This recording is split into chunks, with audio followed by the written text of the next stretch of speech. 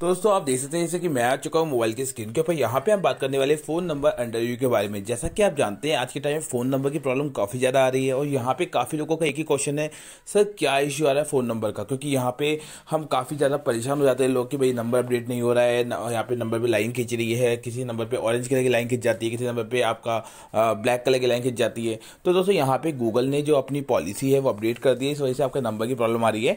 अब काफ़ी लोगों का एक ही क्वेश्चन है, क्या हमारी नंबर की प्रॉब्लम ठीक होगी? जी हाँ दोस्तों, नंबर की प्रॉब्लम हंड्रेड परसेंट ठीक होगी। ऐसा नहीं है कि आपको यहाँ पर है ना, नंबर की प्रॉब्लम नहीं आने की वजह से आपको लिस्टिंग डिलीट करनी पड़ेगी। चाहे आप कोई भी लिस्टिंग बनाइए, आपकी नंबर की प्रॉब्लम ऑलवेज आएगी। तो मैं आपको कुछ स्क्रीन दिखा देता हूँ या कुछ बंदों के प्रॉब्लम दिखा देता हूँ, ताकि आपको समझ में आ जाएगा भाई दिक्कत कैसी है।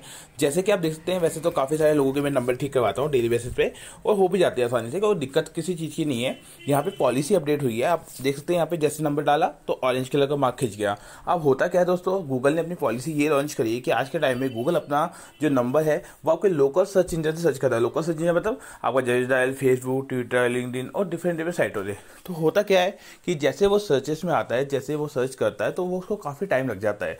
अब ऐसे केसेस में क्या है कि ऑटोमेटिकली पड़े पड़े नंबर ठीक नहीं होने वाला। यहाँ पे दो तरीके हैं। एक तो गूगल है, एक सॉफ्टवेयर है। अब गूगल वाले तरीके के थ्रू क्या होता है कि अगर आप गूगल के तरीके के थ्रू करवाते हैं तो आपके पास में सभी तरह के डॉक्यूमेंट होने चाहिए। जैसे लाइसेंस होना चाहिए जीएसटी वगैरह है सेम एड्रेस के ऊपर सारे डॉक्यूमेंट होने चाहिए। एड्रेस थोड़ा अलग अलग नहीं होना चाहिए, जैसे काफ़ी लोग मुझे बोलते थे हमारा लाइसेंस तो है बट अलग एड्रेस पर है।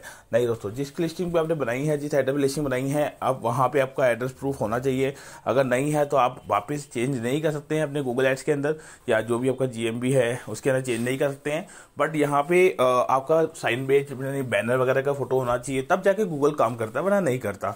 तो ऐसे केसेस में अपन एलोगोथम को फॉलो करते हैं और बाय सॉफ्टवेयर करवाते हैं। तो गूगल के सर्च इंजन से बाय सॉफ्टवेयर के थ्रू हम कोई ऐसा सॉफ्टवेयर नहीं लेते लेके आते हैं जिसके थ्रू आपका नंबर अपडेट होगा, बल्कि एस होता है, एक तरह का एस का सॉफ्टवेयर होता है, जो हम लिस्टिंग को रैंक करवाने के लिए यूज़ में लेते हैं। वही हम सॉफ्टवेयर यूज़ में लेते हैं आपके नंबर ठीक करवाने के लिए। अगर आप नंबर ठीक करवाना चाहते हो तो ये नंबर पर कॉन्टैक्ट कर सकते हैं।